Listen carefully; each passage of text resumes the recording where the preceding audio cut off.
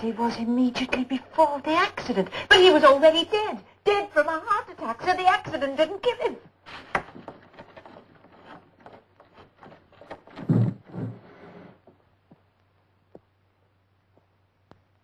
Only one more wish. Enid. Please go away. Leave me alone. I want to be alone with him, please.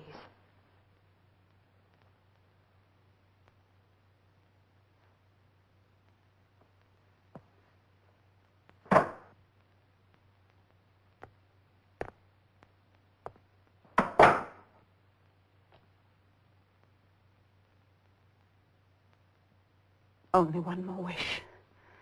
Only one. I mustn't waste it. I must be careful.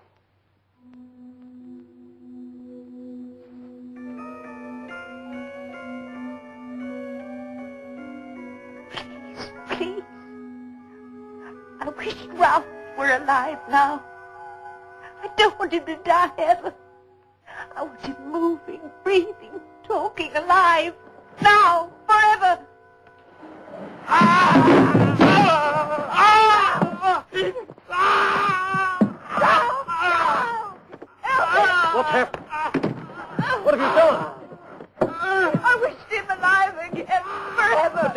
realize he's been embalmed? His veins are filled with embalming fluid burning into him. Oh, no! Oh! I need to do something.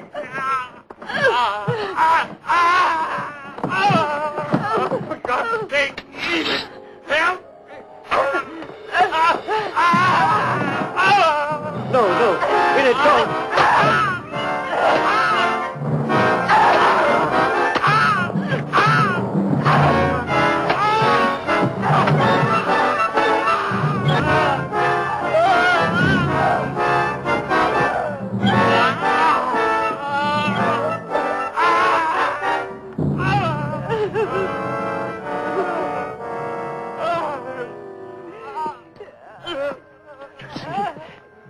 Wished him alive forever. You can't kill him. Every piece of him is alive still.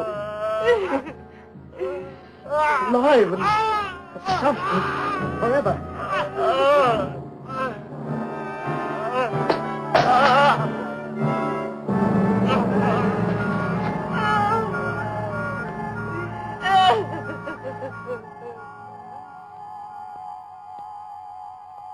Well, what did you see?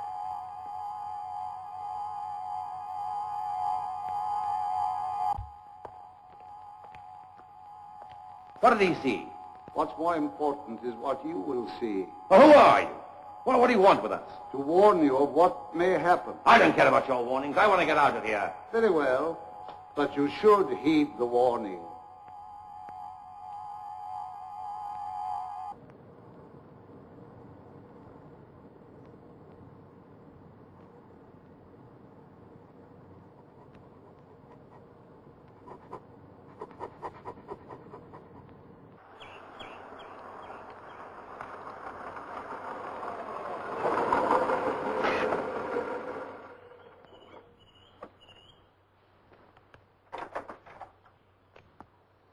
Mr. Rogers? Major Rogers. You might show me to my quarters and have someone get my kit in, will you? Shane, here. Oh,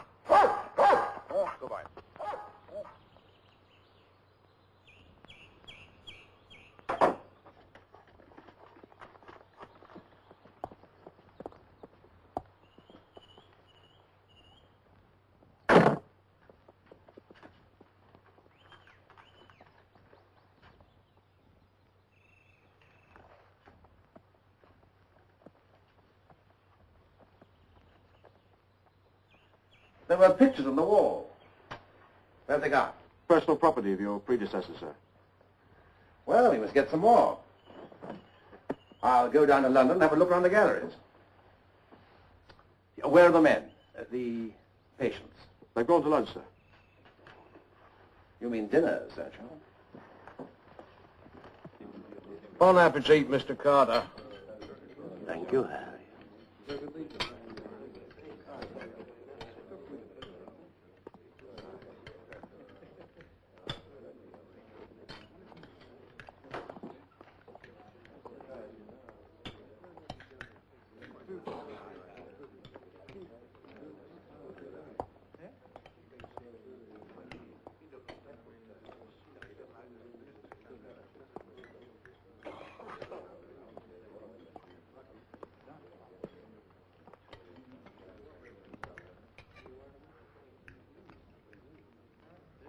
Good morning. My name is Rogers, Major William Rogers. I've been appointed your new superintendent here and take up my duties today. I've had considerable experience in dealing with men as an officer in the Army. I promise you I will do this job to the best of my ability. I hope we'll all get along well. If there are any complaints, I shall be pleased to deal with them in my office at any time. Good morning. Good morning. Good morning.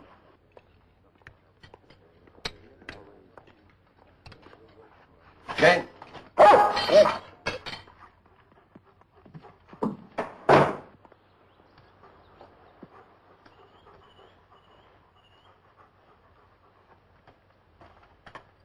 Well, Shane, after I made a few changes, I think we're going to like it here.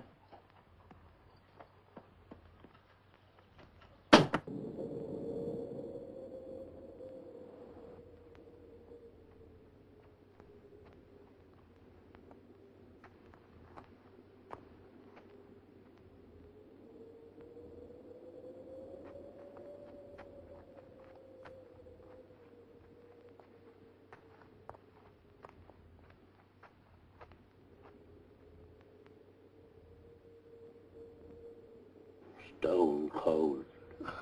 It's always like that now. All right, old boy. All right. I'll get you an extra blanket.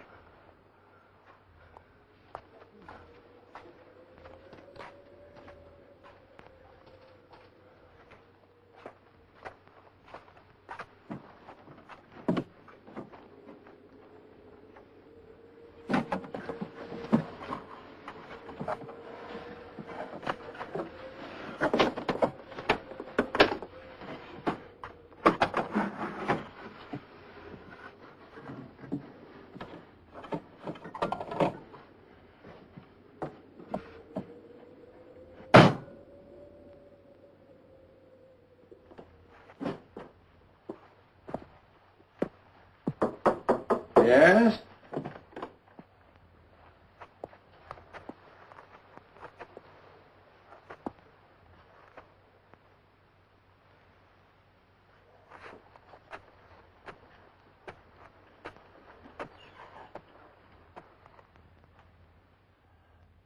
The men have asked me to come and talk to you. Yes? It's about the heating. Been very cold this past few nights. We wondered if. For reasons of economy, the heating is now turned off each evening at 2000 hours. You'll all be in bed by then. After all, there's no point in staying up. You can't see anything. The beds are cold. There aren't enough blankets. I'm trying to run this place as efficiently and as economically as I can. I'm afraid the current budget does not include the cost of new blankets. Do you know anything about blind people? No, I can't say I do until I took over this job. But I was in the army for over 20 years, and I learned to handle all kinds of men there. With all due respect, sir, we are not soldiers. And blind people are not like people with sight. We have lost one sense, but the loss of that one sense only tends to sharpen the other. Do you know what that means? We feel things more acutely. If food is bad, it tastes worse to us. A room is dirty, we feel every speck. If an insect scurries across the floor, we hear it. And if it's cold, we feel the cold more. Why don't you sell that painting and buy us fuel or extra blankets? I was not aware that the administration of expenditure for this establishment had been handed over to you, Mr. Carter. Good morning.